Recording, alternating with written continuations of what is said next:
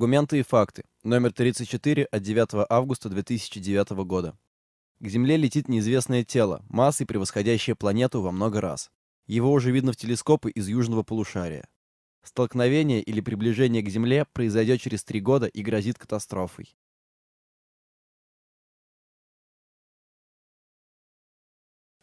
Я бы хотела сейчас очень коротко подвести итоги всех исторических фильмов нашего расследования, основанного на абсолютно доступных материалах и на нашей очень богатой общественно-политической практике.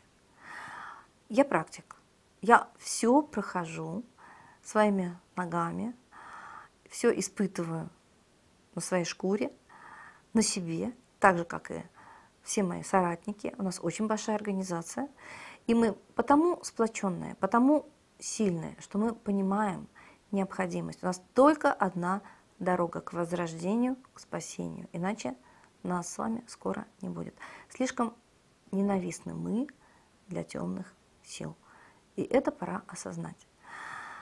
Итак, очень краткая картина происходящего здесь и сейчас над всеми нами и над нашей планетой. Нам надо признать, что планета наша не единственная обитаемая э, планета в пространстве. Действительно, есть миллионы звезд, миллионы цивилизаций, миллионы планет. И в космосе, так же как и на Земле, есть добро и зло. Есть темные цивилизации и светлые цивилизации. Как наверху, так и внизу. То есть есть цивилизации высшие, которые посылают нам своих учителей, которые дают нам знания, науку, культуру, духовное развитие, учат жить, помогают, как заботливые родители. А есть цивилизации, которые втираются к нам в доверие обманом и пытаются привести нашу планету к гибели для того, чтобы забрать огромный жизненный потенциал и, может быть, даже физический потенциал, ресурсы, подземные ископаемые, золото и атмосферу. Оказывается, в мире все драгоценность. И человеческая жизнь, и судьба, информация этой судьбы, находящаяся в нашей ауре, и материя, золото, атмосфера, на вес золота. Все мы с вами знаем о генной инженерии. Мы знаем о скрещиваемости и растений, и животных. Мы знаем о том, что можно изменить и ДНК, и гены, и даже хромосомы. Если все это можно, то почему мы не верим, что можно скрестить ДНК рептилийной расы и ДНК человека? Если сейчас происходит рождение человека в пробирке, клонирование, это гораздо более серьезная, так сказать, технология, чем просто скрещивание двух особей а, различных, наверное, цивилизаций. Поэтому да, я верю, я знаю, что есть люди, скрещенные с рептилиями. И, может быть, поэтому они блюдут чистоту своего рода.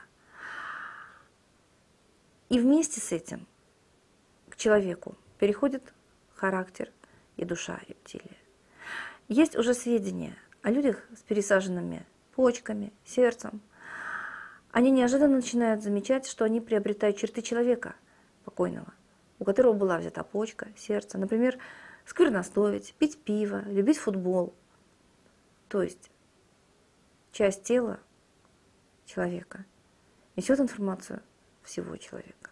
Также и колдуны могут иметь один волос человека или ноготь человека и наводить энергоинформационное воздействие на всего человека. Все мы это знаем. Все это есть и в, в книгах, и в фильмах, и в учебниках магии. Так почему же мы упорно не хотим верить, что вот все это с нами происходит, что среди нас живут люди-рептилии, которые реально решили уничтожить нас хитростью, коварством? Почему мы не верим, что к нам летят цивилизации, которые посещают периодически Землю и сохранились следы их прилетов? Именно потому, что сами рептилии не хотят обнаружить себя среди нас. Они нас убеждают, они нас подавляют. Как вам не стыдно? Вы просто неумные или вы бессовестные. Насмешка, обвинение, замалчивание. Все это проходит информация о рептилиях. Но есть информация и о существовании подземных рептилийных цивилизаций. То есть мы с вами живем между двух огней, между двух цивилизаций рептилий. Те, которые посещают нас, и те, которые уже давно живут под нами. Давайте вспомним. В Библии есть выражение «вышел зверь из-под земли». И на определенное время по грехам человеческим этому зверю дана власть над человечеством. Но придет свет, и этот зверь уйдет обратно под землю. Вот этот свет золотого века, он уже идет. И змеям он ненавистен. Змеи, рептилийная раса, это очень эгоистичные, очень злые, очень корыстные особи. Это значит, что вибрации аур у них очень низкие. И они не могут жить даже уже здесь, при дневном свете, в нашей пятой расе. Поэтому они вынуждены, как дух, как информация, как ДНК, входить в человеческое тело и через человеческое тело действовать здесь, на Земле. В то же время наступает золотой век, то есть излучения космические, полоса излучения, в которой входит наша галактика, очень сильная, очень жесткая и очень огненная. То есть эгоизм сгорит дотла. Этим змеям уже и в человеческом обличии нельзя будет существовать на Земле. Поэтому в Агни-йоге сказано, что темные силы всеми силами пытаются убить цивилизацию, взорвать ее и на обломках Земли умчаться на Сатурн, что и сейчас подтверждается. То есть Земля может взорваться, как Фаэтон, а может потерять атмосферу, как Марс. И все это уже умеет делать, потому что эта планета Нибиру, как разбойник, разрушила и Фаэтон, и Марс, и вот сейчас нацелилась на Землю. Давайте осознаем опасность. На Востоке есть понятие учителей человечества, живущих в Шамбале, обители учителей человечества. Это город древний, который искал еще фюрер, посылая экспедиции. Очень многие искали. Все это есть и в преданиях, а преданиям надо, наверное, верить. Потому что современного человека приучили верить документам, повторяющимся опытам, то есть тому, что никогда не являлось доказательством. Не может человек войти два раза в одну и ту же реку, не может быть в пространстве дважды одних и тех же условий создано, об этом тоже говорится в Агне йоге Елена Ванна Рейрих, который дал владыка Майтрея, владыка-собиратель шестой расы. Людям в помощь всегда посылались высшие учителя – Будда, Иисус Христос. Каждый из них вел человечество к свету в определенную эпоху. Существует версия, что учителя приходили из созвездия Ориона. Древние египтяне почитали звезды Ориона, так как, по их мнению, там находилась обитель богов. Знаменитые своими пророчествами индейцы племени Хоппи также верили в богов с одной из звезд Ориона. В Африке живет племя Дагонов, известное своими уникальными мифами и преданиями о сотворении и устройстве Вселенной, а также древними связями этого народа с космосом. Мифы Дагонов связывают появление на Земле первых людей с Сириусом. В одном из них говорится, что людей перенесли на Землю космические корабли, небесные ковчеги с планеты, солнцем которой была звезда Сириус до своего взрыва. По преданиям Дагонов, в ковчеге на Землю прибыл Номма, посланец богов, который изображался получеловеком-полузмеей, с гибкими конечностями без суставов, красными глазами и раздвоенным языком. Вместе с ним прибыли и предки людей.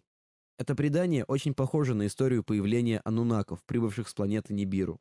Существует версия, что Нибиру раньше находилась в звездной системе Сириуса, но была вышвырнута оттуда в открытый космос после того, как Сириус перенес переход в высшее измерение, или взрыв, как говорится в преданиях Дагонов.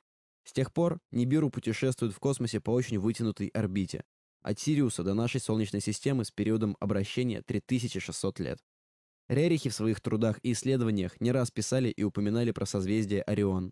Известный факт, что семье достался камень – легенда, с которым они прошли большую экспедицию, указанную им владыкой. 8 марта 1924 года Гелена Рерих записала в своем дневнике.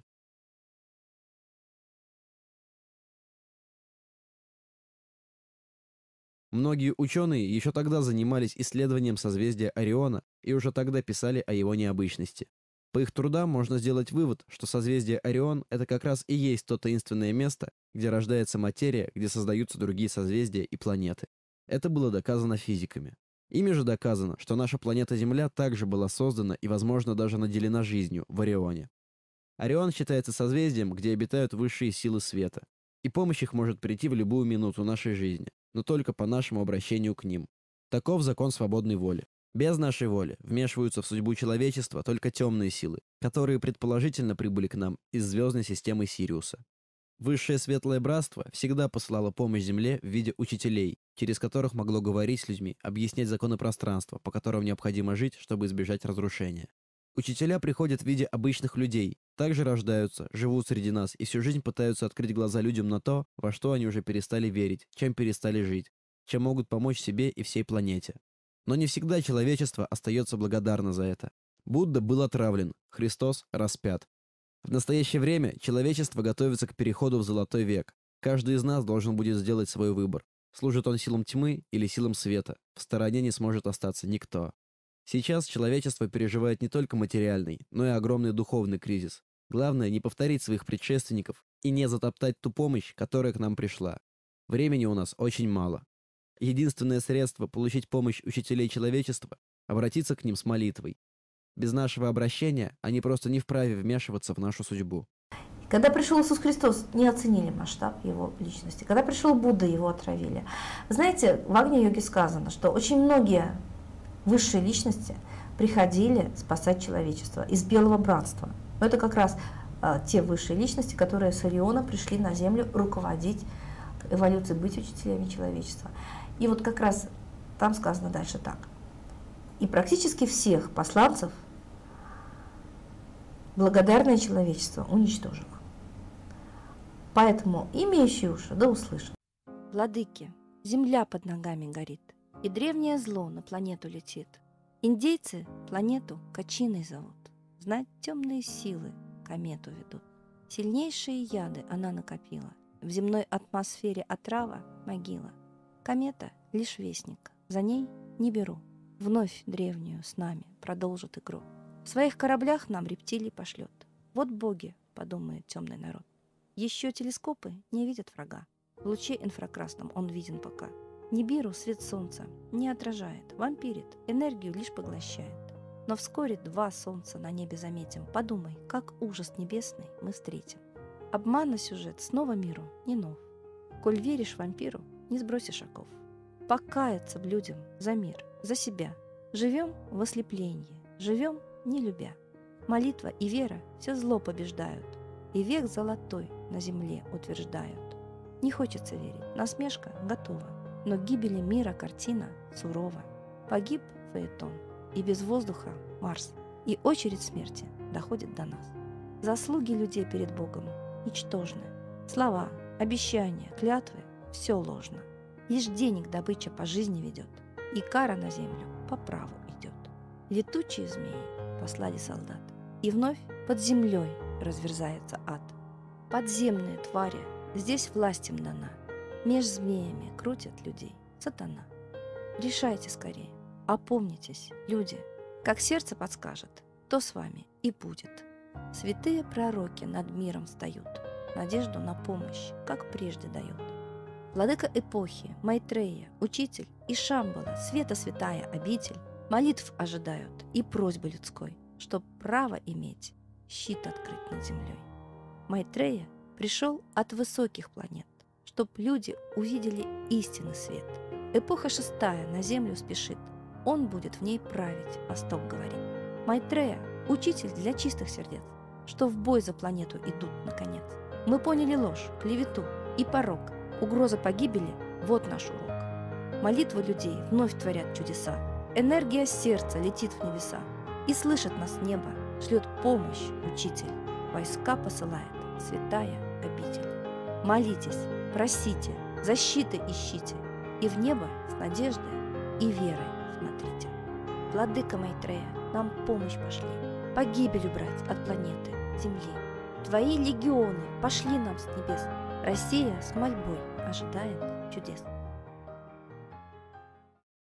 Вот мы сейчас пришли к такому историческому моменту, когда уже замалчивать эту жизненно важную информацию об опасности, это значит погибать, реально погибать. Спящий в сугробе засыпает. И мы с вами, спящие, будем легкой добычей летящих нам рептилий, легкой добычей подземных рептилий. А сама жизнь – это уже добыча. У нашего Солнца есть антидвойник, черное Солнце, которое находится в другой системе. Древние предания говорят о системе Сириуса, которая пережила катаклизм. Именно по этим двум системам, нашего Солнца и черного Солнца, поочередно путешествует Нибиру. По своим физическим свойствам, Нибиру больше схожа с системой антидвойника. Так, попадая в нашу Солнечную систему, планета X из цикла в цикл уносит атмосферу одной из планет нашей системы.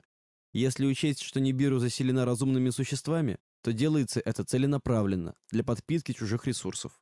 Есть версия, что эти ресурсы далее поступают к антидвойнику нашего Солнца. Так произошло с известными нам планетами – Плутон, Фаэтон, Марс и другими. Я предвижу насмешки. Это не ново. Во все времена и Блаватскую осмеивали, и Рериха осмеивали, и Вернадского, и Чижевского, но это были гениальные люди, которые работали на благо человечества, не на свой карман, не на жадность, не на воровство, поверьте мне. Уже за это одно их стоит уважать, уже за это одно к ним можно прислушаться, потому что люди, бескорыстно занимающиеся наукой, они говорят истину. Чижевский говорил, что наступит время солнечной активности, которая подвигает человечество к огромным общественным изменениям, потрясениям. 12-летние волны, циклы активности Солнца, 500-летние циклы, пришли, наконец, к одному историческому циклу активности Солнца, который начинается сейчас. Активность Солнца провоцирует и социальную активность. И люди эгоистичных черт характера гибнут в такие времена, либо заболевают эпилепсией, шизофренией, другими душевными болезнями, потому что повышается частота вибрации Земли. Сейчас частота вибрации Земли очень сильно повысилась. Она благоприятна для очень честных и чистых людей. Поэтому рептилийная раса вынуждена нагнетать психоз, вынуждена нагнетать трагедии войнами, террористическими актами, смертями, агрессией, обвинением, клеветой. Им нужно поднять эти эмоции, очень нужно, чтобы человечество вошло в низкие вибрации и было порабощено рептилийной железной волей. Человек, находящийся в гармонии, который стремится к солнцу, к владыкам, к учителям, к небу, он должен жить в детской радости, он не будет подвластен рептилиям, не будет подвластен страху. Кстати, рептилии управляют страхом. Есть даже теория управления через страхи. То есть, когда человек боится, он сделает все, что угодно от страха и подчинится любому э, насилию, лишь бы не умереть. Все это мы проходим сейчас. Объединение Чижевский считал единственным спасением человечества. Потому что объединенное поле сильных и добрых людей – это очень сильная энергетика. И объединенное поле может защитить Землю от подлета вот этой негативной энергетики, потому что в пространстве плюс и минус очень сильно отталкиваются. То есть, если мы станем сильными, если мы станем справедливыми, добрыми, научимся соединяться с учителями, которые несут нам космический огонь, помощь, любовь, заботу, мы образуем такой щит энергетический, который не пустит уже минус. Минус будет просто взорван. Не планета, а именно Нибиру, планета-корабль. Но это требует очень большого напряжения, преодоления насмешек и действительно желания жить другой, человеческой, божественной жизнью. Про апокалипсис ныне не знает только ленивый. Но одни смеются над этой темой, а другие над теми, кто не верит. В США смеются над русскими. Мол, зачем они тратятся на Олимпиаду, если до 2014 года все равно никто не доживет. Сами американцы, правда, активно строят бомбоубежище в надежде спастись. В Краснодарском крае, по рассказам местных жителей, тоже строят не только олимпийские объекты, но и подземные укрытия. По краю ходят слухи, что это приготовление на случай возможной войны с Грузией. А может, кто-то знает больше, чем говорит. В Орле детям на уроках граждановедения говорят, что через год все человечество погибнет. Когда второклассник, сын слушательницы Академии развития Светланы Пионовой, возразил, что погибнут только плохие люди, а для хороших настанет золотой век, ребенка отправили к психологу. То есть позитивное мышление – это по нынешним временам ненормально? Циолковский говорил, что человек станет человеком тогда, когда он будет жить в перенаселенной планете. Не в той, которая содержит единицы человеческих особей, тогда человек разделен. А вот в общежитии, кстати, формируется тип коллективистского человека, которому не напряжно жить с людьми, который учитывает людей, заботится о людях и живет в гармонии и согласии с окружающими. Иначе он просто э, не выживет, иначе жизнь ему будет не мила. Также и человечество. Только тогда, когда мы научимся любить друг друга, учитывать друг друга, интересы каждой социальной группы, не тянуть одеяло на себя, а понимать, что вообще-то всех благ на планете достаточно, только мы можем позволить отнять их у нас. Мы приходим к новой эпохе. Она уже очень близка, но мы никак не можем это осмыслить, мы не готовы к ней. Поэтому Академия развития Светланы Пионовой сформировала учебный цикл, говорящий вот об этом древнейшем учении, мировоззрении, которое сейчас а, является продолжением и развитием агни-йоги. Древняя философия говорит, что Земля проходит эпохи. Каждая эпоха руководится одним из учителей Белого Братства. Предыдущая эпоха была эпоха Иисуса Христа. Сейчас смена полюсов ведет нас к новой эпохе, к новым задачам, к новым горизонтам, к новым энергиям. И Шамбала, Белое Братство предназначили для этого владыку Майтрея. Учитель Майтрея – это мой учитель уже много лет.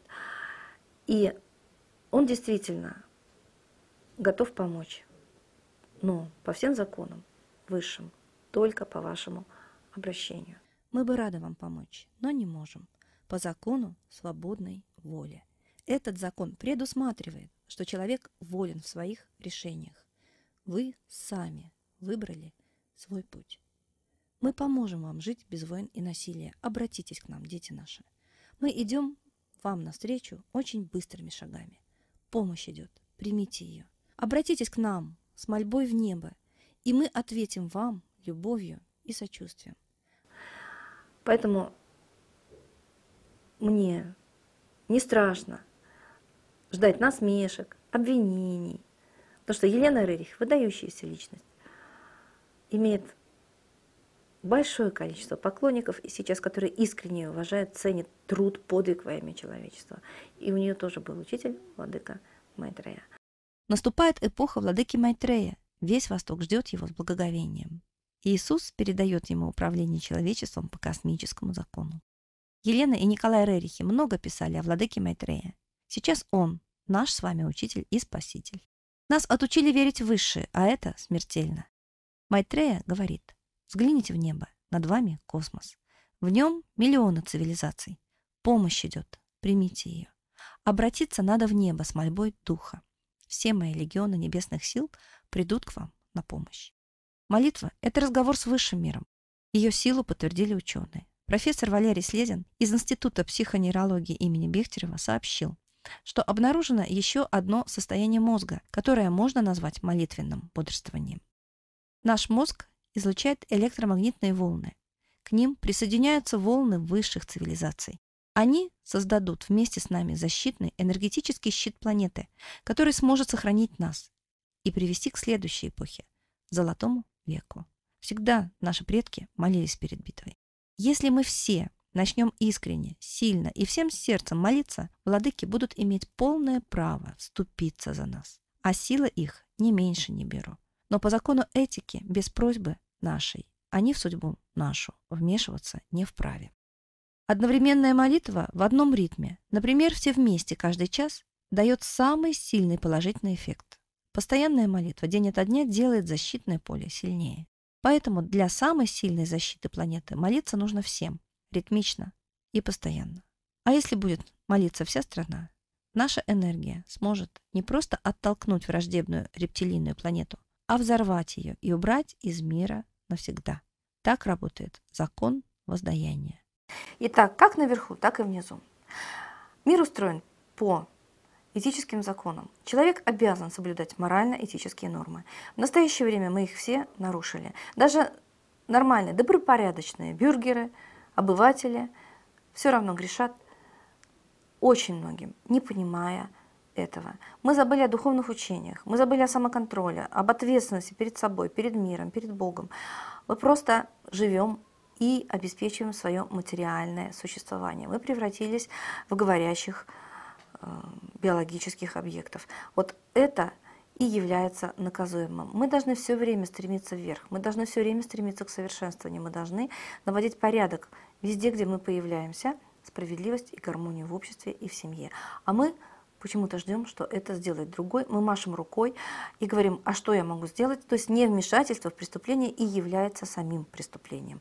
Вот именно это мы должны понять. Мы очень сильно заслужение наказания, потрясения и действительно пропасть на пути зияет, вернее. И действительно, вот наша судьба сейчас висит на волоске. Единственное, что меня обнадеживает, то, что в своей жизни я видела очень много критичных ситуаций. И всегда, когда была проявлена искренняя, сильная, добрая воля к спасению, к соединению с Высшим, владыки всегда спасали. У меня были ситуации, когда моя машина на скользкой дороге не один раз готова была перевернуться.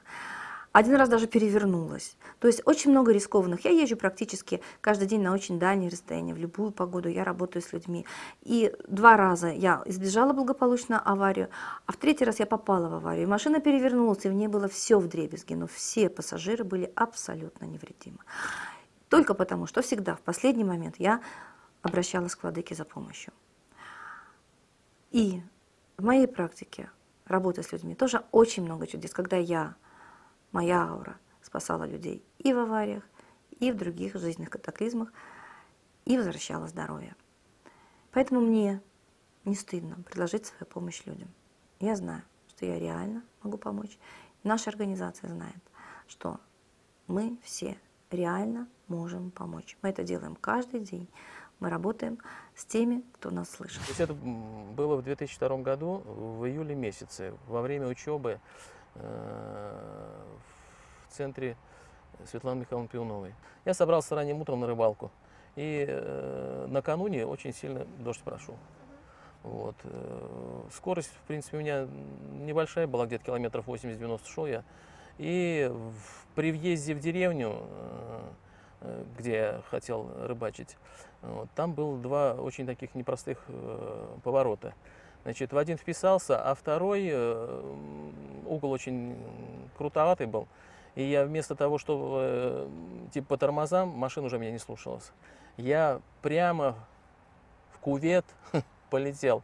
И в последний только момент помню, что э, кричу, Светлана Михайловна, помогите. И я не знаю, кто помогал, но факт то, что как будто кто-то меня за руль держал. То есть я не крутил ни, ни вправо, ни влево. И я оказался на пашне. Представляете, спаханная земля, поля везде, машина, ну, где-то по пол колеса. Сижу, смотрю, никого нет нигде. Посидели, посмотрели с супругой друг на друга. Я говорю, жив-здоров, слава богу. Значит, я говорю, сами про себя подумайте, что Светлана Михайловна помогает. Везде портреты ее были, вот как и сейчас. Здесь тоже так же могу продемонстрировать. Вот. То же самое Просидели минут 5-10 в шоке, в шоковом состоянии в таком. Я говорю, так надо выезжать каким-то образом. Нет тракторов, деревня километров 5-6 от нас была. То есть э, людей, как обычно, по утрам не было никого в тот момент. Вот. Сажусь, мысль такая, ну кто поможет? Опять сидим, я говорю, про себя сам думаю, говорю, Светлана Михайловна, помогите. Э, тем более шестая модель это не та машина, то есть не то, что вот сейчас я сижу на шеве нее. Вот. Э, возможности ее не сильно велики. Ну и вот в результате всех этих моих пожеланий мы как, как могли с женой просили, потому что реальная картина, я не мог выехать оттуда. Вот. Вдруг потихоньку слышу голос, как будто вот стоит сзади Светлана Михайловна, я представляю, э, голос, потихоньку включай заднюю передачу. Я хотел сопротивляться, думаю, ну, если подсказывают, смотрю, жена молчит, у меня сидит. Думаю, значит, не она, дублер, тут никто, кроме нее, не, может, не сможет мне рассказать, подсказать. Все, включая заднюю передачу, где-то метра два-три прошел, машину смотрю, вроде слушает, все нормально. Опять лежу на землю, пашня, думаю, там тоже не дороги, как я выйду. А до, как вот я спустился, слетел в кувет, где-то метров, наверное, 300 надо по этой пашне ехать было, чтобы попасть мне на дорогу. Потом, говорит, не... опять слушаю голос, думаю, поворачиваюсь на жену и думаю, что кто же мне все-таки рассказывает опять голос такой внутренний говорит, включай первую передачу. Я спокойно, включаю первую передачу. Потихоньку еду, доезжаю. И не поверите, аж слезы пробивает. Думаю, кто же толкает, кто помогает. Я, ну реально, знаешь, на шестерке я не могу выехать. Тем более по колено. Ну не по колено, а пол, половина колеса в, в пашне. Все, выезжаю на асфальт. Опять на жену смотрю, вроде мы с ней вдвоем. Ну, не, по-другому никак невозможно. Думаю, кто же кто командует здесь? Все, поехали на рыбалку, приехали где-то, ну, там вообще смотреть страшно было на машину. И э, посидели, подумали. Я как будто все это забыл. Потом я говорю, мы же учимся, давай, может, расскажем, как реально, может быть, вот помогает такая ситуация. Как, как можно вот так не верить человеку, куда ты пришел учиться, и вот такая вот ситуация могла для нас трагически закончиться. Ну, слава богу, все получилось хорошо. Мы живы-здоровы. Большое спасибо. Сердечная признательность Светлане Михайловне и все, кто нас учил. Итак, мы обязаны навести в своем обществе порядок. Мы виноваты в том, что отдали управление обществом аморальным людям. Мы потакаем аморальности, поэтому мы являемся грешниками. Нам надо искупать этот грех борьбой с этими аморальными элементами. Нам нужно всем вступать в борьбу. Имеющие уши да услышат. Борьба за свои права, между прочим, это объективная реальность каждого гражданина каждой страны. Почему мы думаем, что за наши с вами права в России будет бороться кто-то другой? Итак, мы обязаны понять, что страной управляют люди, которые ее систематично, постоянно разрушают, и практически по плану разрушения страны уже закончено. Сейчас кладбища напоминают кладбище военных времен. Шеренгами закапывают гробы без перерыва. Смертность огромна, но нам об этом не говорят. Мы с вами имеем все права коренного населения. Мы имеем права народа, а это первое право объявить правительство и президента нелегитимными, не заслуживающими доверия. Президент приносит притягу, где говорит, что он будет соблюдать права народа, охранять суверенитет страны и заботиться о нашей с вами безопасности. Все три положения нарушены. Мы не имеем суверенитета, потому что мы зависим и в экономике, и в политике. Мы стали государством-вассалом, государством колонии через 20 лет после того, как были первым по мощи государством мировой державы. Принят закон, когда даже в наше отсутствие представители государства могут войти в наше жилище, и мы можем погибнуть от теракта, катастрофы, техногенной аварии в любую минуту своей жизни. Никто о нас не заботится, никто нам жизнь не гарантирует. Ну и что говорить о правах и свободах, когда мы с вами подвергаемся тотальному контролю, слежке, давлению силовых органов, а уж если мы решим бороться за свои права, то мы ощутим это давление еще больше. Но давайте вспомним, что в Италии Коза Ностру ликвидировал народ – там были убийства, зверские убийства. Чиновники боялись бандитов. Но народу это надоело, он вышел на улицы. Он сказал, хватит, больше мы этого не потерпим. Давайте вспомним, как Махатма Ганди, Мартин Лютер Кинг вывели из нищеты и бесправия свои народы. Махатма Ганди заставил вооруженных до зубов британцев уйти от нищего, безоружного индийского народа в 1947 году 20 века. Мартин Лютер Кинг в 60-х годах абсолютно бесправное негритянское население сделал полноправными гражданами Америки. Светлана Пионова говорит о духовности и в то же время о политической активности. Раздаются голоса, что за винегрет, или уж говорить о духовности, или о политике. Но политику делают люди. Если политический лидер бездуховен, безнравственен, то и его политика безнравственна, антинародна, он может быть подкуплен. Если у него рыльца в пушку, то его могут шантажировать приданием огласки его грехов, заставлять принимать невыгодные для страны решения. Если лидер духовно развитая личность, он в любых обстоятельствах никогда не пойдет на преступление против закона, против граждан, против совести. Махатма Ганди прежде всего был духовным лидером. Всем известно, что он медитировал, молился, постился. Ганди призывал людей отвоевать свободу без агрессии и оружия. И если кто-то нарушал порядок подобными действиями, Ганди голодал или отказывался вести народ до тех пор, пока не наступало смирение. Мартин Лютер Кинг был священником, духовным лидером общины. Он был первым политическим деятелем и лидером, который говорил о любви, о Боге, о христианстве, призывал к объединению, он смог объединить политику и духовность, и то количество людей, которое за ним шло, говорит о том, что это нужно людям. Свобода – это ценность духовная, и обладать ею по-настоящему смогут только духовные и моральные люди. Почему же русский народ считает, что он не сможет заставить себя уважать? Я думаю, потому что его в этом убедили. Мы слишком гипнабельны. Я требую, как представитель народа, убрать с Красной площади мавзолей, который является адской сатанинской машиной. Я считаю, что сатана – это символ рептилии, змея, о чем, в общем-то, и в Библии говорится. Но то, что сейчас проходит решающее время реализации планов сатаны, врага рода человеческого, по уничтожению человечества, мы должны с вами понимать.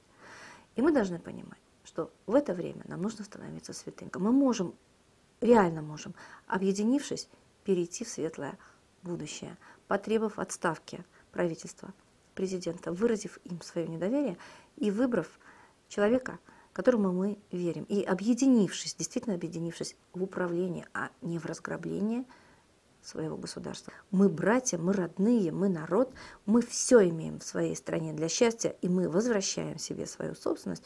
Вот тогда мы с вами реально станем на путь спасения. Спасения страны, а России предсказано и спасти мир. Очень много пророчеств есть в мире о том, что именно Россия спасет мир. Но мы с вами живем в России, надо начинать с себя. Нынешний кризис окончательный. В его результате практически вся мировая собственность перейдет к самой верхушке пирамиды, а низы, из которых уже больше нечего будет выкачать, будут обречены просто вымереть. По прогнозу американского экономиста Линдона Ларуша, в результате обрушения долларовой пирамиды погибнет 5 миллиардов землян из 7.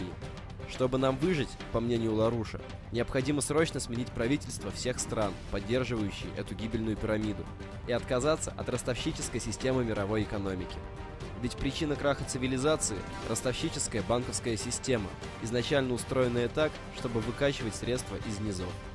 Центробанки цивилизованного мира, в том числе и России, устроены по общему принципу. Они принадлежат частным людям и не подчиняются государству. Это значит, что частные люди решают, напечатать ли денег и устроить инфляцию, или изъять деньги из обращения и обескровить население и мелкий и средний бизнес. А Федеральная резервная система США суживает деньги не только своему правительству, но и всему миру.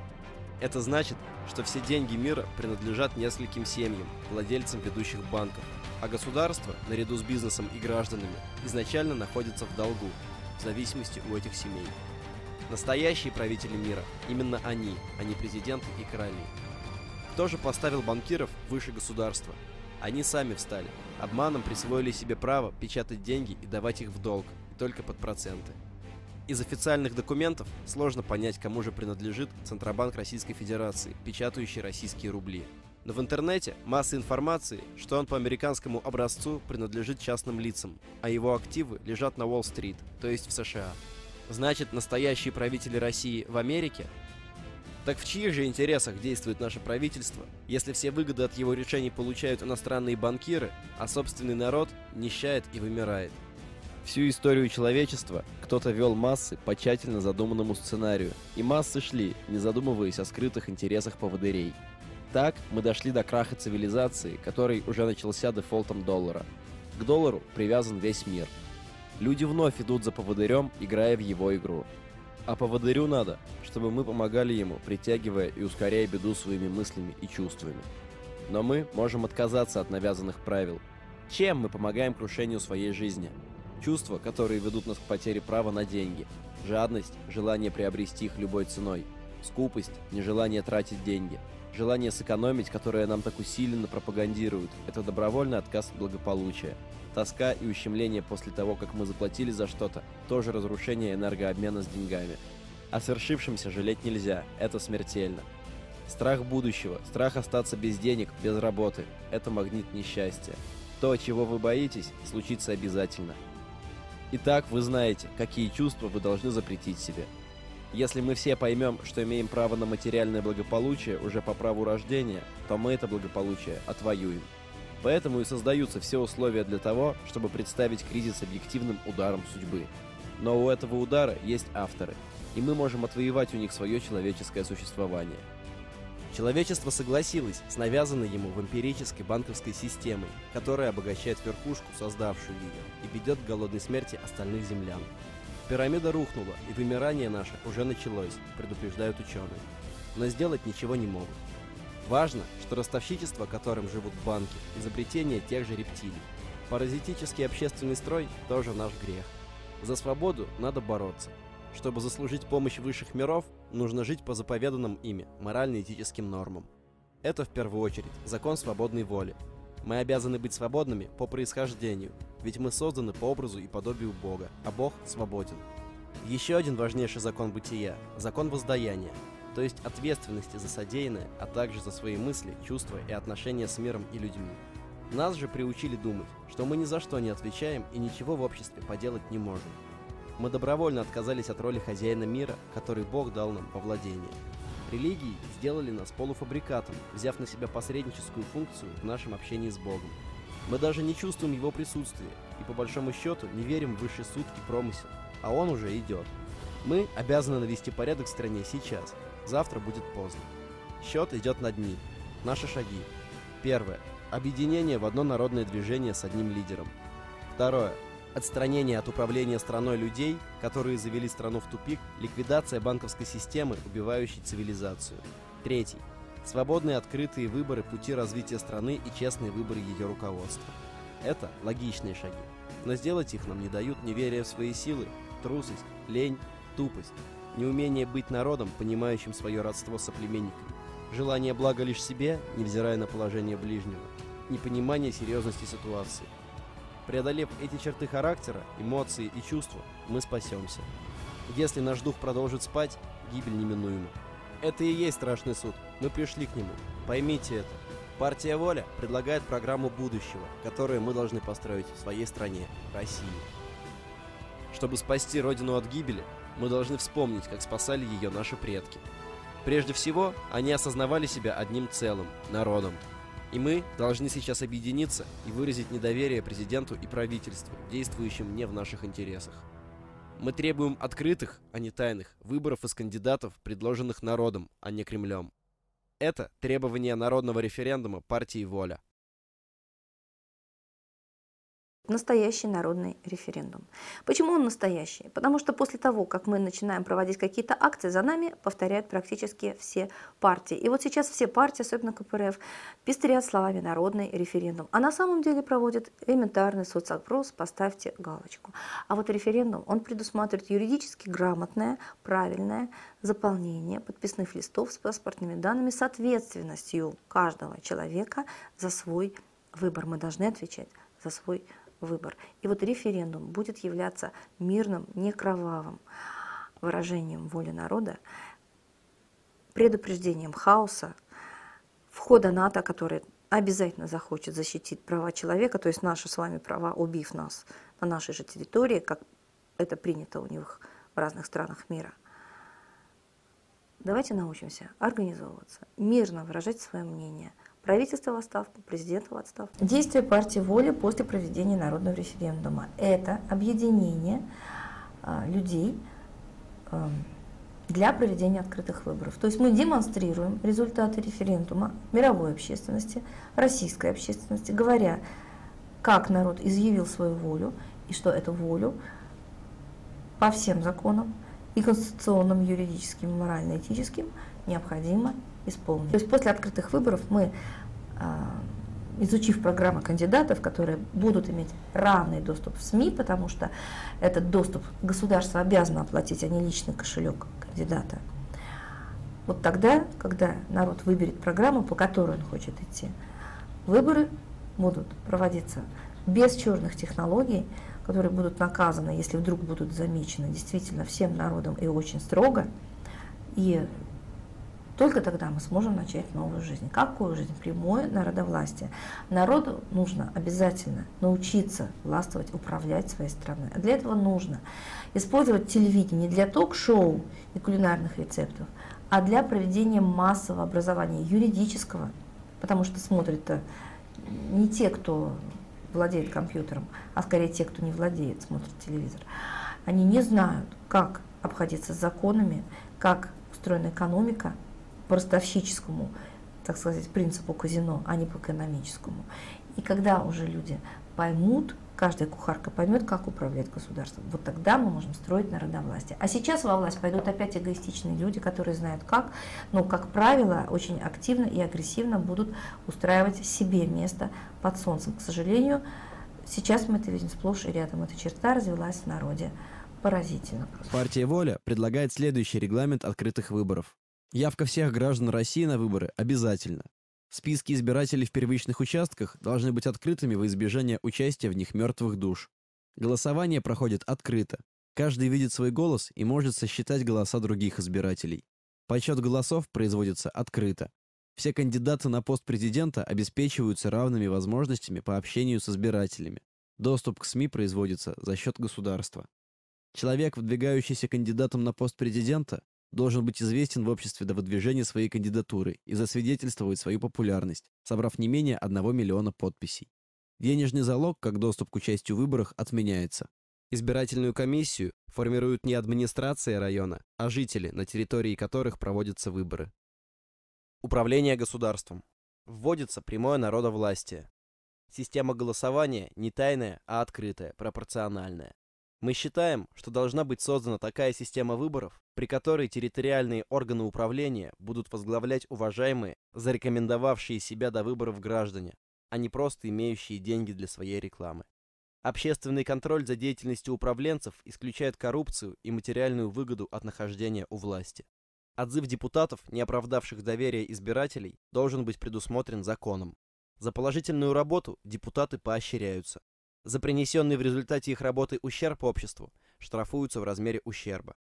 Государством правит совет действительно уважаемых народом духовно и морально развитых граждан. Глава совета выбирается на срок не менее 10 лет на открытых выборах, финансируемых государством. Центробанк, как главный ростовщик страны и монополист печатания денег, упраздняется. Поощряется замкнутый цикл производства, основанный на бескредитной схеме «товар, деньги, товар». Экономика. Ликвидация госкорпораций как незаконной формы собственности. Их имущество переходит в собственность государства. Государственный аудит прежнего правления.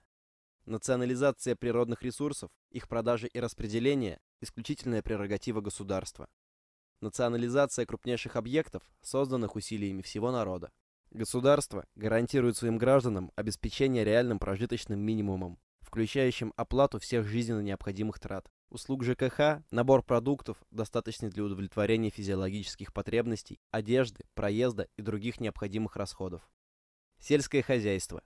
Государство берет на себя обязательство восстановления в короткие сроки сельского хозяйства до уровня, способного накормить страну качественными продуктами по доступным ценам. ЖКХ. Государство должно обеспечить каждому своему гражданину бесплатный минимум жилья, предположительно 6 квадратных метров жилой площади на человека. Услуги ЖКХ оказывают только госпредприятия без посредников. Цены на услуги ЖКХ регулируются государством. Здравоохранение. Государство гарантирует всем гражданам обязательную бесплатную медицинскую помощь. Образование. Государство гарантирует всем гражданам бесплатную систему всеобщего среднего и высшего образования, предусмотренную Конституцией. Семья. Выплаты матерям должны быть равны реальным затратам на воспитание ребенка, определяемым государственными органами регионов. Выплаты по беременности и родам за каждый месяц не должно быть меньше среднемесячной зарплаты матери до родов. Армия. Восстановление военной промышленности для обеспечения армии современной техникой и вооружением. Возвращение к службе в армии всех уволенных по сокращению офицеров от лейтенантов до генштаба. Запрет на службу в армии России иностранных граждан. Партия «Воля» создана мной, простой русской женщиной. Я просто не вижу другого выхода к спасению, а я хочу спастись, и я привыкла спасать и здоровье людей, и ситуации жизненные разруливать. Это моя профессия. Поэтому, видимо, я по профессии и э, перешла от спасения личности, семьи к спасению общества. Партия воля действительно, реально единственная возможность организоваться, почувствовать себя хозяином и законно взять власть в руки народа. А мы и есть с вами народ. Давайте организовываться. Вступайте в партию воля. Не бойтесь силовиков. Страх убивает, а бесстрашие спасает. Мы женщины. Нас пугали много раз. И тем не менее, мы крепнем, развиваемся, и мы идем вперед. И мы имеем возможность помочь стране и вам. Мы надеемся, что и мужчины русские наконец-то станут мужиками и начнут спасать свои семьи, свою страну, стоять за свой народ. Партия воли ждет вас. Народный референдум ждет вас. Приходите к нам, и все, что мы будем организовывать, мы будем организовывать для вас в ваших и наших интересах, потому что мы с вами один народ, живем в одной стране. Дом у нас общий. А когда Россия встанет с колен, то и вся планета будет избавлена от опасности взрыва и потери атмосферы.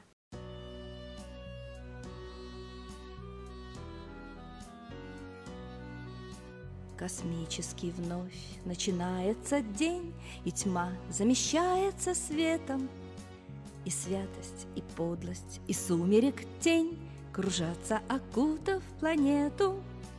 Помериться силой космический гад Решил напоследок с землею.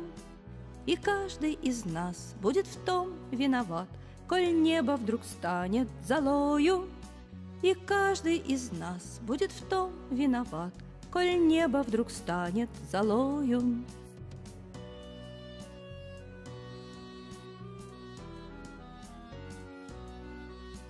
Отсутствует сердце у серых людей, А белых ворон заклевали. И гениев нет, обойди сто морей, И чистых отыщешь едва ли — по праву удавы и змеи летят К планете, что Бога не знает. И крылья расправил космический гад, И руки уже потирает. И крылья расправил космический гад, И руки уже потирает.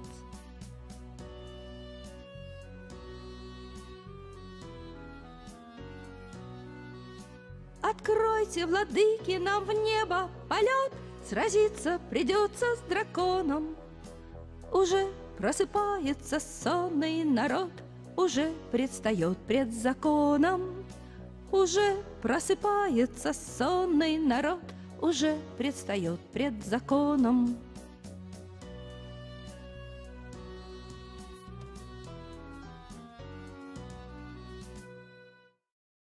Я зову вас вперед к развитию, к эволюции, к расцвету, к золотому веку, к победе справедливости и высшего разума в человеке. Мы обязаны навести порядок в своем доме, в своей родной стране. Партия «Воля» за три года провела более 1100 митингов и пикетов волнами одновременно в 50-70 городах России. После подачи партии «Воля» документов на регистрацию в Минюст Российской Федерации, списки членов партии были переданы участковым во всех регионах страны. И они пошли по квартирам запугивать граждан, склонять их выйти из рядов этой экстремистской организации, финансируемой ЦРУ. В Ёж-Короля, например, женщину не выпускали рано утром из дома на работу, пока она не напишет отказ от членства в партии. Список только наиболее вопиющих преследований сторонников партии «Воля» за три года насчитывает несколько страниц. Сентябрь 2008 года. Самара. Заведено уголовное дело на Ольгу Сахно, директора Академии развития Светланы Пиуновой. Дело было закрыто только через год из-за отсутствия состава преступления. Сентябрь 2009 года. Самара. Подброшена дымовая граната во время праздника Академии развития. 29 марта 2009 года. Тула. Арестована и приговорена судом к шести суткам заключения организатор митинга партии «Воля» Наталья Немкина, якобы за нецензурную брань на улице по телефону. Бригада вооруженных бойцов ОМОН встретила автобусы со сторонниками партии «Воля», которые собирались подать заявление в прокуратуру в защиту Немкиной Натальи. Июнь 2009 года. Хабаровск. Заведено уголовное дело на жительницу города Хабаровска Наталью Игнатьеву. Она обвинялась по 282 статье УК РФ за прочтение на митинге стихотворения из интернета. Дело было закрыто через полтора года из-за отсутствия состава преступления. 2009 год. Город Стрижевой Томской области. Окна квартиры, где проживали сторонницы партии «Воля», были обстреляны из огнестрельного оружия. 23 декабря 2010 год. Самара. С применением силы разогнано санкционированное шествие партии «Воля». Участников на руках затаскивали в автобусы, затем до двух часов ночи держали в суде. 2010 год. Оренбург. Активистке партии «Воля» был показан белый порошок и было обещано подбросить его, если женщина не прекратит заниматься агитационной деятельностью. Май 2011 года. Москва. Вооруженная погоня сотрудников полиции за лидером партии «Воля» Светланой Пиуновой. Приставив к окнам машины пистолеты, полицейские потребовали предъявить документы и устроили досмотр автомобиля и личных вещей. Причина – якобы не работавшие габаритные огни автомобиля. Лето 2011 года. Самарская область. Над загородным участком Светланы Пиуновой неоднократно кружили вертолеты на предельно низкой высоте. Местные жители рассказывают о пристальном интересе незнакомых лиц к участку Светланы Пиуновой. Апрель-май 2011 года. Киров, Вологда. Заведены уголовные дела на Ивана Чуранова, Наталью Терешину и Тараса Аввакумова, сторонников партии «Воля», за распространение листовки «Партия Воля», которую следственные органы сочли экстремистской. Июнь 2011 года. Орловская область. Обыски в квартирах сторонников партии «Воля» и офисе Академии развития Светланы Пионовой в городе Орле. 11 июня 2011 года. Владимир. Начат судебный процесс о признании экстремистской книги Светланы Пионовой «Вся власть народу», изданной в 2007 году. В этой книге собран фактический материал о злоупотреблениях властью и нарушениях основ конституционного строя Российской Федерации. Интернет — единственное поле, где осталась возможность рассказать, что ты думаешь, все больше теряет независимость. Мнение о людях и событиях формируют профессиональные пиарщики и политтехнологи, целые армии нанятых комментаторов и троллей.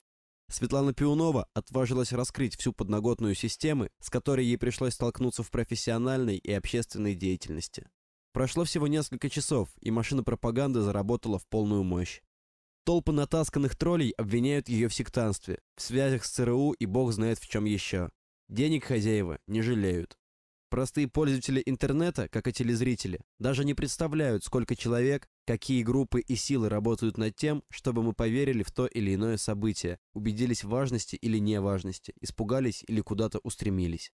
Также мы не представляем, какие огромные деньги вкладываются для того, чтобы сформировать наше мнение о ком-то или о чем-то. Ведь и телевидение, и интернет – средства управления массами.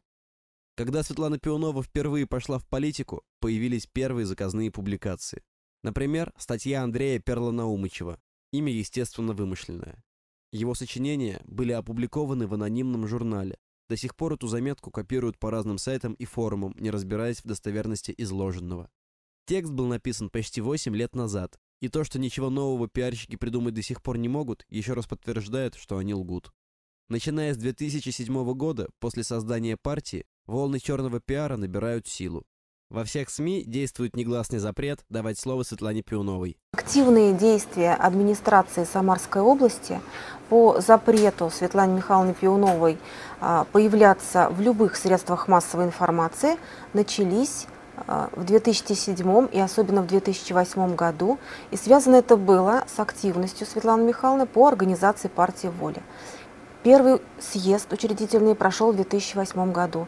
И всплеск черного пиара, запретов, э, грязи, клеветы именно начался первый всплеск в 2008 году.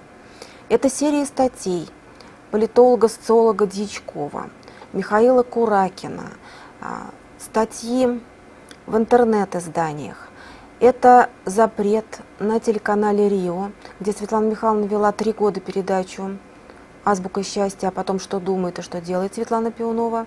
Меня пригласил коммерческий директор телеканала и сообщил, что директора телеканала э, пригласили в Белый дом, в правительство Самарской области, и однозначно ему сказали, что на телеканале Светланы Пионовой быть не должно из источников близких к официальным, естественно, мы не можем называть этих людей. Так вот, эти люди сообщали, что созывались совещания а, и руководители районов Самарской области, и руководители СМИ Самарской области, где а, однозначно а, давались распоряжения о том, чтобы не сотрудничать с Светланой Михайловной и ее организацией, не предоставлять помещение в аренду, ни в коем случае не давать эфир, не давать размещение в газетах. Одновременно в этих средствах массовой информации выплеснулась волна грязи, волна черного пиара. Это был, повторяю, 2008 год. Темы, которые э, излюбленные, которые были в этих статьях, это секта, это финансирование э, от ЦРУ, и это коммерческий проект, что Светлана Пионова раскручивает свой бизнес, наживается на людях, обманывая их. Многие журналисты по решению суда были вынуждены выплатить штрафы за то, что они а, предоставляли гражданам недостоверную информацию, и этой информацией порочили честь и достоинство, деловую репутацию Светланы Михайловны Пионовой. Телекомпания «Скаут» с телекомпанией «Скаут» Светлана Михайловна Пионова сотрудничала также много лет, как и с телекомпанией «Рио». Было создано много интересных программ. И вдруг идет а, программа о том, что Светлана Михайловна секта, что э, Академия развития Светланы Пионовой секта а, в сюжете предъявили э, якобы свидетельницу, которая сидела спиной к камере, была в парике, и вот говорила якобы такие свидетельства. Суд постановил э, телеканалу СКАТ разместить опровержение. Дали всего три минуты, хотя передача, которая порочила честь и достоинство и давала совершенно ложную информацию зрителям, эта передача шла, шла 40 минут. Вот волна черного пиара, она прокатилась не только по Самарской области, ведь партия «Воля» — это общероссийская политическая партия. И во многих регионах Особенно в моменты активности, когда митинги, когда акции партии воли проходили. Вот в эти моменты также наблюдались всплески черного пиара в регионах. А, например, в Пензе газета «Наш город» опубликовала серию статей. Например, в Хабаровске недавно закончился суд. На сайте регионального отделения «Единой России» был размещен материал также «Осторожно, секта». Если можете узнать меня, да, вот на моей фотографии написано «Осторожно, секта опасна для вашего здоровья». Она, по-моему, уже больше года гуляет по интернету, я не обращала на это внимания, но когда она появилась на сайте «Единой России» в Хабаровске, то есть я посчитала это все-таки порочнем моей чести, деловой репутации. Сегодня состоялся суд, где признали действительно неправомерность поступка и Единой России, и Московского комсомольца города Хабаровска, а это официальное организация, они выражают, я так понимаю, официальное мнение обо мне. Так что мне не сильно легко, хоть я и развощекая, и веселая, и успешная, но борьба, наверное, это мое хобби. Мне нравится бороться за свое человеческое достоинство. Потом были более низкие и подлые поступки для того, чтобы оклеветать человека и организацию. Статьи в газетах ложного содержания, провокации на пикетах и митингах, плакаты и лозунги с обвинениями и явным оскорблением, Опустились даже до того, что на доме, где располагается Академия развития Светланы Пионовой, и на подъездах домов, в которых проживают сотрудники и сама Светлана Михайловна, писали гадости по одному трафарету. Несмотря на детскость всех этих поступков, на навязчивость и один почерк, репутация Светланы Пионовой была искажена и очернена среди простых людей. Задумайтесь, Пионова смело называет вещи своими именами, не стесняясь фамилий и званий чиновников. Она создала настоящую партию, чего прежде никому не удавалось сделать без поддержки власти. Если бы у сильных мира сего был хоть один малейший законный повод упрятать ее за решетку, если бы хоть где-то было доказано, что оно не помогает людям, а вредит, ее давно бы упрятали куда подальше. Но в том-то и сила Светланы Михайловны, что она работает честно, строго соблюдая законы. Поэтому и приходится силовикам придумывать экстремизм на пустом месте. Клевета – это грех, но еще хуже, если вы поверите клевете, если не разбираясь, огульно обвините честного человека. Рано или поздно всем, кто поступает нечестно, кто за деньги мешает с грязью людей, придется ответить за свои поступки. Вспомните, как предали Иисуса. Народ кричал «распни его». Вспомните, как предали последнего русского царя. Мы до сих пор пожинаем плоды равнодушия наших предков. Кто поведет страну к победе, если народ снова предаст? Если враги народа, те, кто разрушает нашу страну и грабит наших детей, гонят честного человека, народ должен встать на защиту. Если гонит и народ, это конец цивилизации. Самое вопиющее, что сделали вообще по отношению к членам партии «Воля», это раздали всю информацию из Минюста участковым и обязали пройти каждого партийца. Очень немногие прошли просто с вопросом, состоите ли вы в партии «Воля». Очень многие угрозами, шантажом и с готовыми бланками заявлений о выходе из партии. То есть вот до такой степени запугивают людей, и очень многие вышли, особенно в Ростове-на-Дону пугливые люди и, наверное, очень такие агрессивные участковые. Но очень многие не вышли. И они сказали, да, я состою, я имею на это право и буду состоять, потому что эта партия выражает мои интересы. Я борюсь за свои права конституционно.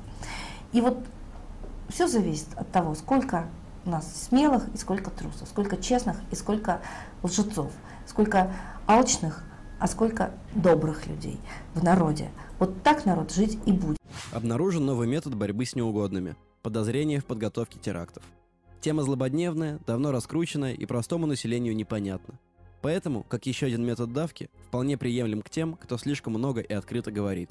Происходит это все быстро и с определенным порядком. Запугали население погромами и разборками, изобрели статью 282 про экстремизм.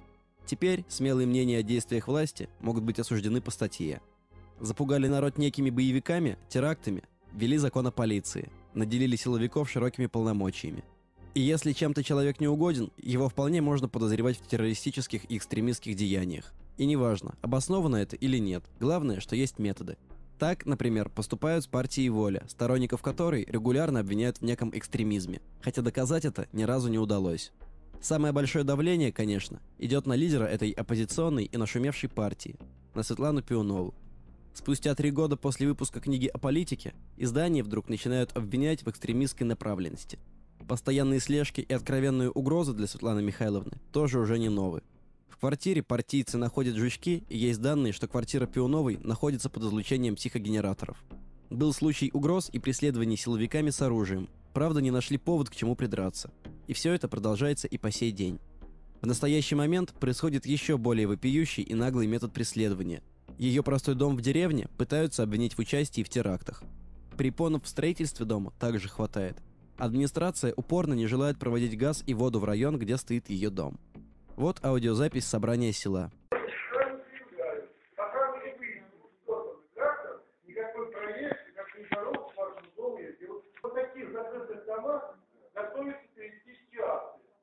Я, естественно, после этого встала и попыталась людям объяснить, кто здесь живет, что здесь живет лидер Всероссийской партии «Воль» Светлана Михайловна Пиунова, что к ней приезжает очень много людей со всей России, поэтому здесь очень много машин, что за этим забором которым так пугает нас глава администрации, находится обыкновенный сад, обыкновенный огород, обыкновенный хоз постройки с курями, коровами, как, наверное, у все, у, в каждом доме деревенском. А, но мне, в общем-то, сказать не дали. Ну, 25-го, по-моему, у нас воскресенье было. Вот, я что-то вышел, смотрю, козы пошли на чужой огород. Думаю, надо это их оттуда выгнать. Ну, пошел выгонять. Смотрю, мужчина ходит по дороге. Что-то странный какой-то. Что ходит, непонятно. Вот, своих-то знаешь вроде всех подошел. Вот. Он такой, вот этот дом показывает на дом, на наш сюда. Там работников принимает. Так, а хозяин где? Я говорю, зачем хозяин вам? Ну вот, поговорить вроде. Вот.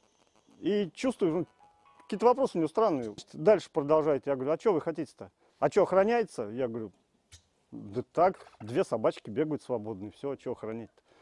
Я говорю, вы из милиции? Он, знаете, вот лицо его было надо видеть, как будто он милицию вот как не то что ненавидит, он пренебрежительно к ней относится. Я говорю, ну а что же вы хотите-то? Он, ну может у вас тут вы изготавливаете там взрывчатку, может у вас узники содержатся. Вот. Я говорю, а, короче, я говорю, вы из ФСБ. Он ничего не смог ответить, как бы, ну, так замялся. Ну, узники у нас, да, вообще-то есть. Вот там куры ходят, они у нас за сеткой, не за решеткой. Вот индюки, а, еще кролики, вот, вот те, да, вообще в клетках тоже, вот натуральные узники. Ну, что, такая жизнь у них, я что могу сделать? Не я один это придумал, это во всей России все так разводят. Участком, а, о котором идет речь, э, Светлана Михайловна владеет уже 18 лет. А, все дело в том, что э, участок находится в степи, а, лес ближайший находится за озером в пойме реки Самарки. И этот участок продувается всеми ветрами. Там ничего не растет. Могу сказать, э, что высокий забор появился совершенно недавно. Еще в прошлом году его не было. Был решетчатый обыкновенный забор, который э, огораживал участок. Все, что сажали, вымерзало. Э, ни малину нормально посадить, ни клубнику там невозможно. Все мерзнет, все продувается, все выдувает. Решили поставить забор. Забор поставили не кирпичный, потому что это дорогостоящая конструкция. Забор поставили обычный из листового железа. Вторая причина достаточно простая. А, вокруг нашего дома стали появляться различные люди на достаточно не дешевых машинах, которые проводили видео и фотосъемку. Ну, поставили забор, э, дело этим не кончилось. Начали летать вертолеты над нашим участком. Но приятного мало. Вертолеты зависают, смотрят. Видимо, проводится съемка какая-то или наблюдение. Именно потому, что, э, как говорит глава Нефтегорской администрации господин Корнев, э, у него появилась жалоба от жителей поселка Бариновка на то, что на территории происходят какие-то непонятные вещи, мы пригласили соседей, которые живут на нашей улице, из нашего поселка, которые осмотрели территорию нашего дома, были в доме, посмотрели наши постройки все, походили по территории и написали документ, из которого явствует, что ничего необычного на территории нет. А вот для сравнения заборы и дома местных чиновников, и так сказать братков. Их почему-то никто не подозревает в соучастии в террористических актах. Более того, подъехать к ним крайне сложно. За 200 метров тебя уже встречает серьезная охрана. Еще и видеонаблюдение всюду, попробуй пройди. Что происходит за этими заборами? Чего они опасаются? Ведь они совсем не лидеры оппозиции. Отношение администрации Самарской области к Светлане Михайловне давно уже прозрачно. Нелегко и почти всегда с боем партия воля добивается проведения митингов и шествий. В России сложилась э, такая система административная, э, при которой чиновник любого уровня все свои полномочия, э, все то хозяйство, э, которое под ним находится, которым он якобы управляет от имени народа, чтобы народ жил лучше, а страна богатела. Так вот, чиновник на каждом уровне свой уровень рассматривает как свою собственную вотчину, где он является полноправным хозяином. И где он не терпит, когда кто-то ему указывает, как надо ему работать. Поэтому отщелкивают и устраняют всех неугодных, всех, кто пытается указать на законность. А поэтому идет, устраняют всех конкурентов, которые претендуют на это место. То есть идет элементарная борьба за право быть хозяином а, в той вотчине, которую чиновник возглавляет. То есть Светлана Михайловна не вписывается в эту систему, да еще она пошла против этой системы. То есть все последующие ее какие-то шаги политической активности направлены на разоблачение этой системы, на активном противодействии этой системе. Естественно, что она не просто неугодна, она просто ненавистна. Она, как говорят в народе, бельмо на глазу.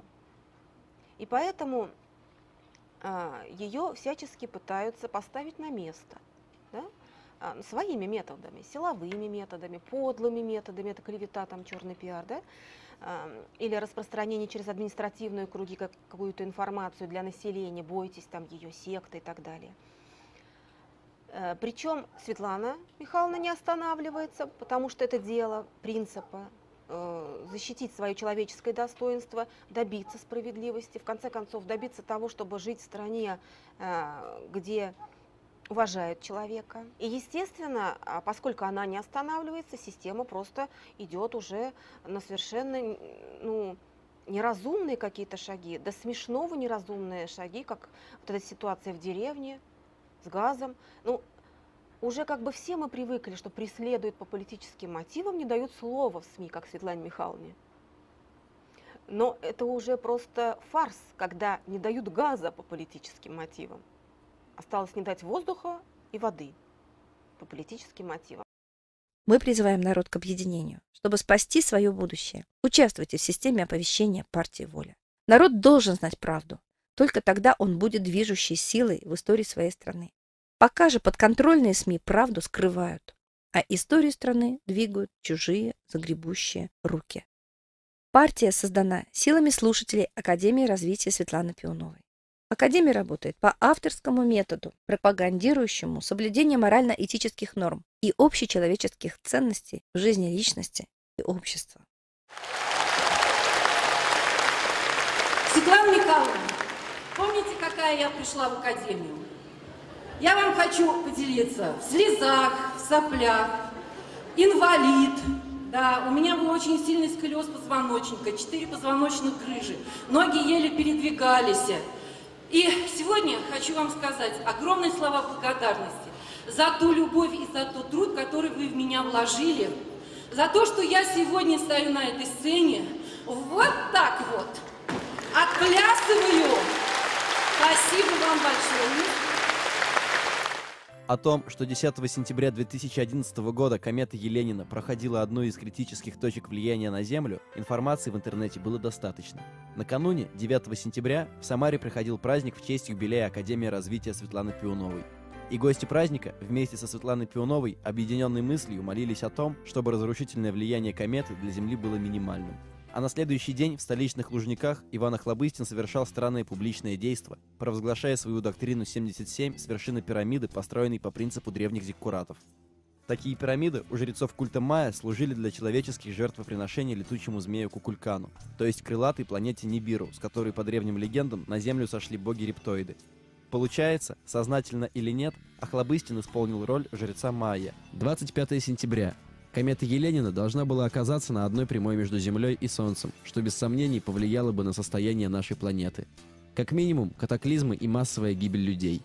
Об этой дате задолго до того вещал интернет и даже некоторые телепрограммы.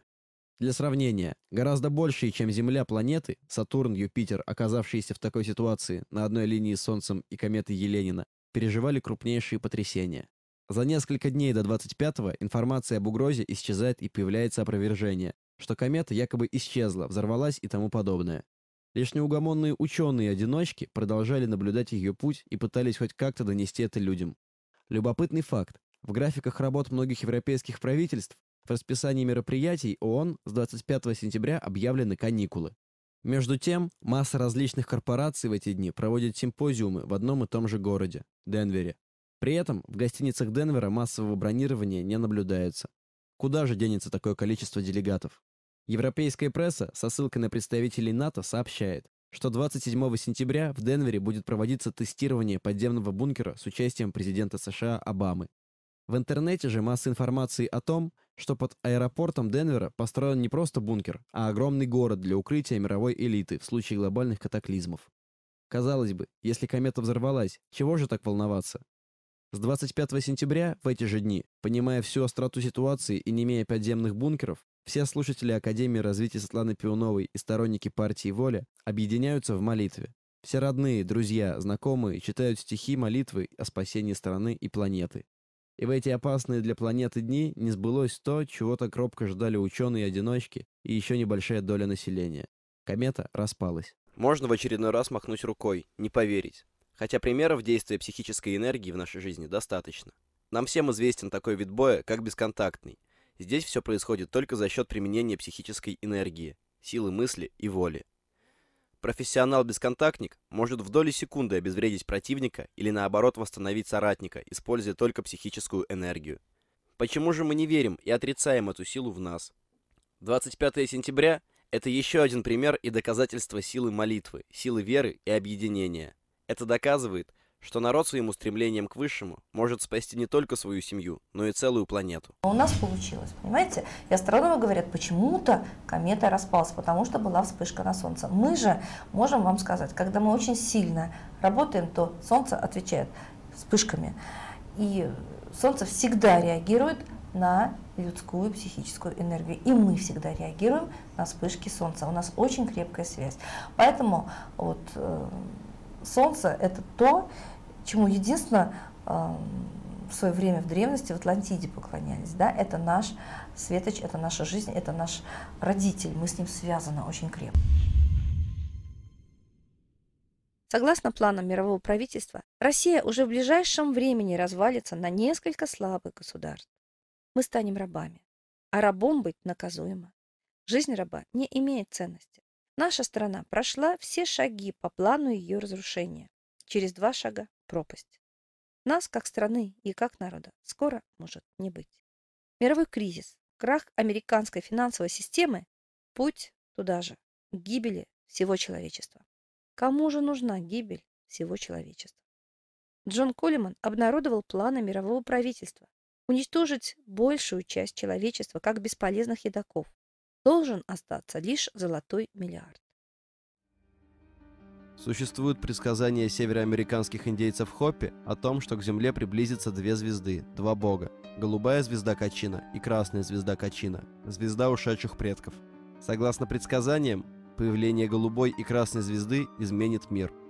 Первый придет голубая звезда и принесет испытания, но эти испытания будут только предвестником той глобальной катастрофы, которую унесет красная звезда.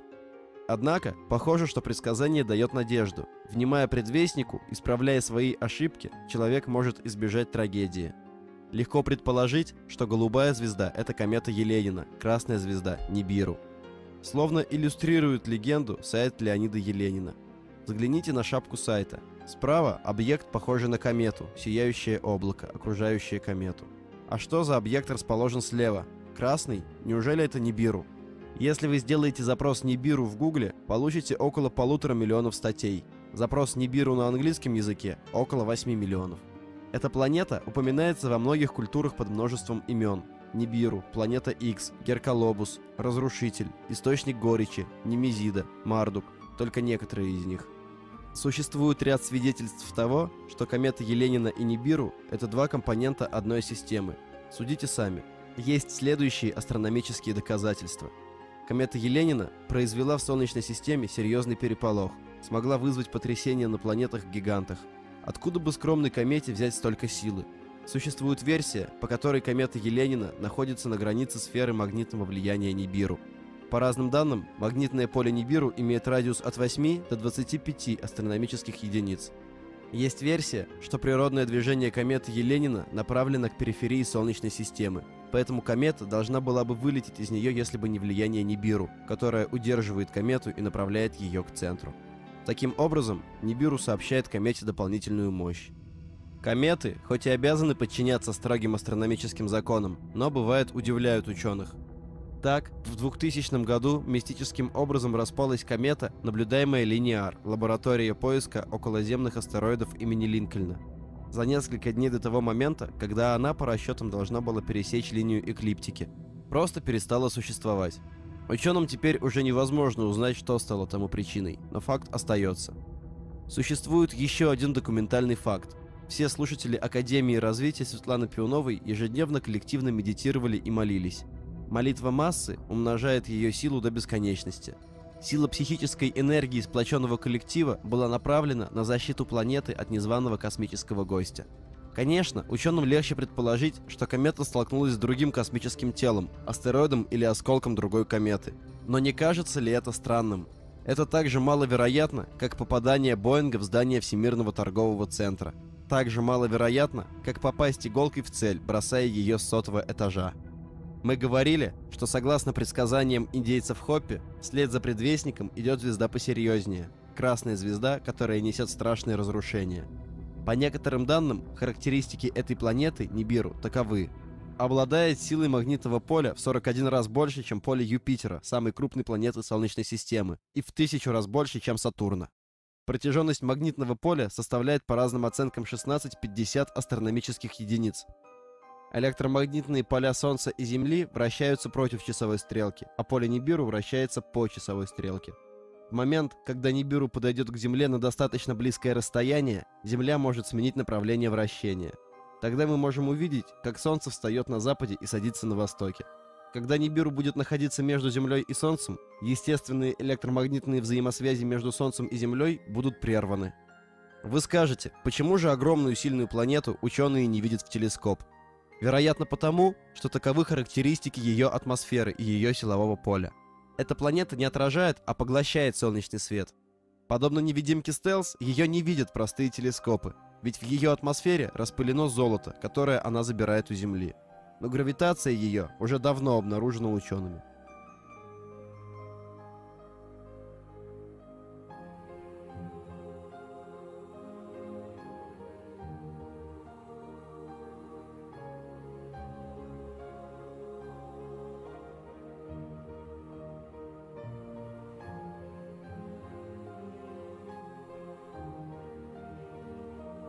А сейчас игры Луны, ее необычное положение на небосклоне, исчезновение либо долгое полнолуние, говорят об изменении гравитации Земли. Не потому ли Солнце в Гренландии взошло после полярной ночи на два дня раньше? Астроном, который хотел искать Нибиру в инфракрасном спектре излучений, скоропостижно скончался. Может быть, именно в инфракрасном диапазоне эту планету давно видно. Специфическое внимание к теме планету Нибиру проявляет и официальная наука – Например, НАСА, Национальное управление США по воздухоплаванию и исследованию космического пространства, закрывает свои телескопы. Был закрыт телескоп ИРАС, который был выведен на орбиту, чтобы вести наблюдение за небом в инфракрасном свете. Этот телескоп первым обнаружил Нибиру в 1983 году. НАСА телескоп был закрыт, но оставлен на орбите.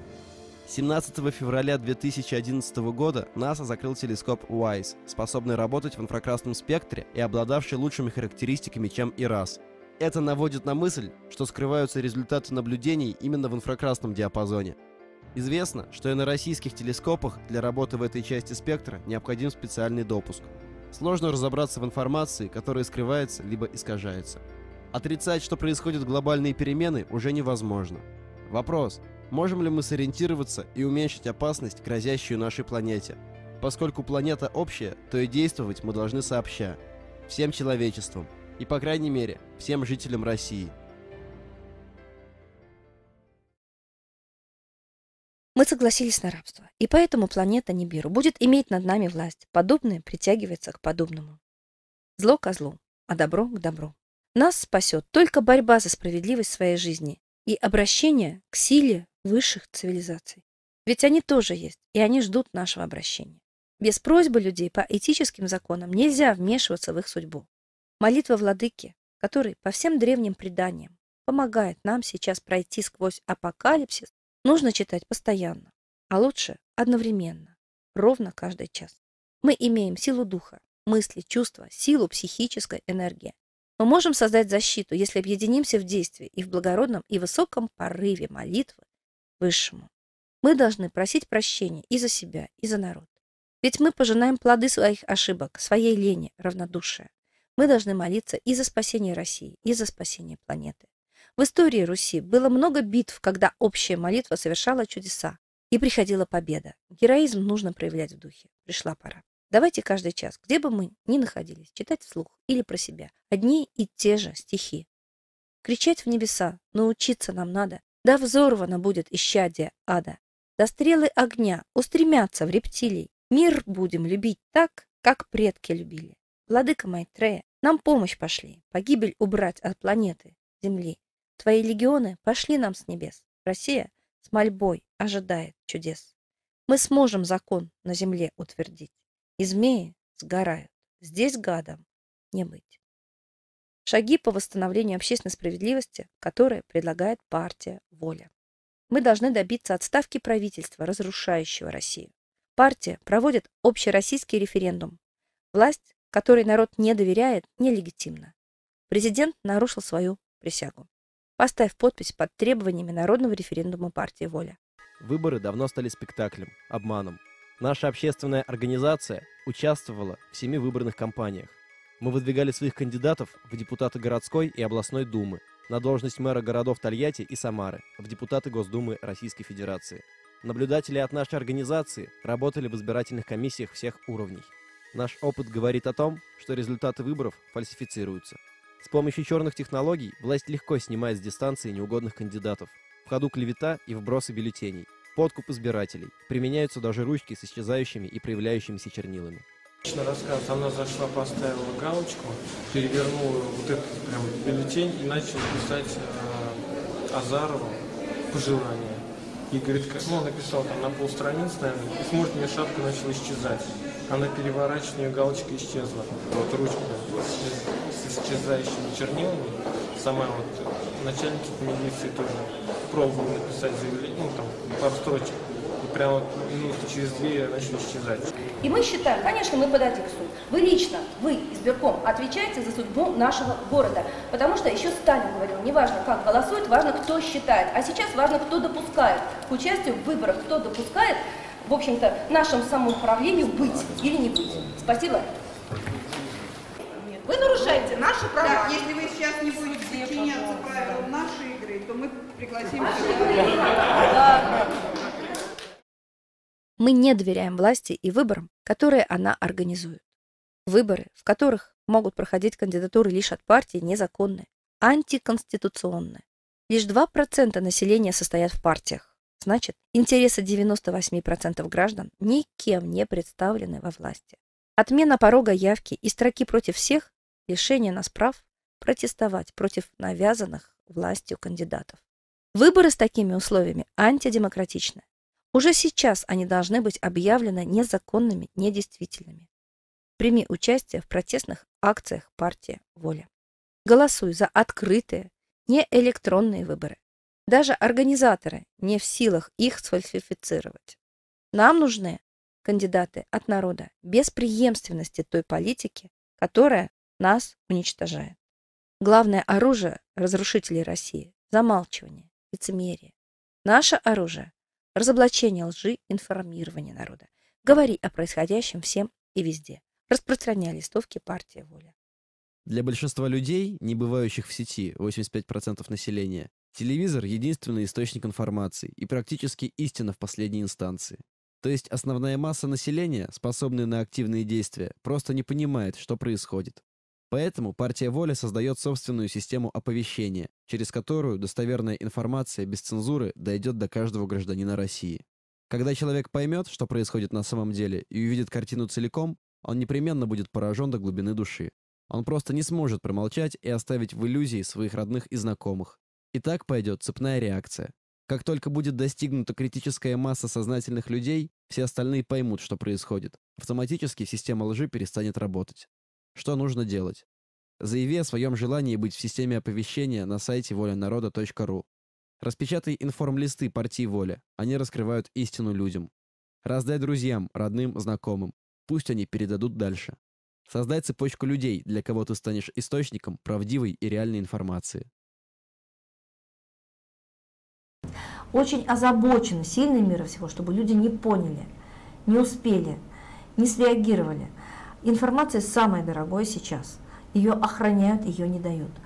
И жизненно важная информация, она обязана быть у каждого человека. Я вас очень прошу, если вы хотите действительно что-то делать, действительно провести референдум, действительно организовать народ, показать ему путь к спасению, к открытому обществу, к открытому диалогу, к выборам открытым, носите наши листовки.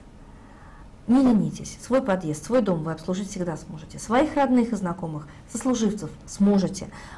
И вот именно искра помогла Ленину просветить рабочих. И именно знания, информационные листки нужны сейчас людям. Самое главное, что я хочу сказать, э, я сказала в фильме, а листовки, они будут вот помогать людям осознавать самый главный момент дня. С миру по нитке. Партии воли нет олигархов. Мы за вас, а вы за нас. Перечисляйте средства на работу партии.